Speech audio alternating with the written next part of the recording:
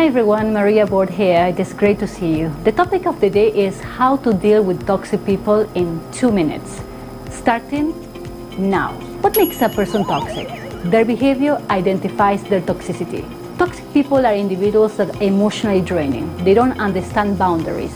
They are extremely negative and they are self-absorbed. So how do you deal with it, particularly if you interact with the person on a daily basis? Number one, establish boundaries.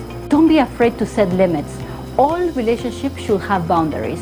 If the toxic person is very negative or they are constantly complaining, distance yourself if necessary or make a choice on how and when you will engage them. Toxic people tend to be controlling, so it might take them a while to figure out that you are setting limits, but stick to your guns and keep the conversations short and polite. Number two, change the topics. Toxic people thrive on drama, attention and negativity. So when you are faced with the situation of having to listen to what they have to say, change the topic immediately and use it as a distraction to say something positive that can change the mood of the moment. It might be quite obvious to the other person what you're trying to do.